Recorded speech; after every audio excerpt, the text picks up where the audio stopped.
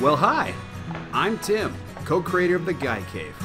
We've been a bit absent lately and wanted to update you, the fans, on what we've been up to.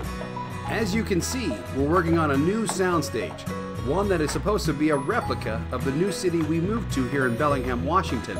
But that barely scratches the surface on what great changes are yet to come for upcoming relaunch this fall. While the exact relaunch date has yet to be determined, there is much to be excited about as we're teaming up with new talent to usher in more shows while focusing on our fan base to bring back the shows that you loved before, such as the Guy Kid Commandos and our game reviews. We'll also be launching a new website that'll have all our updates, videos, upcoming projects, etc.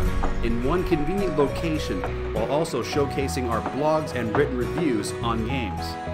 Keep an eye on our Facebook and Twitter accounts for upcoming information on the relaunch, and be sure to hit that subscribe button. But for right now, we've got some serious changes to implement.